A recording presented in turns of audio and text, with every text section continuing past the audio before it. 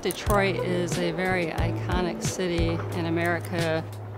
We build things, we make things, and we take a lot of pride in that. Watch now on ETV.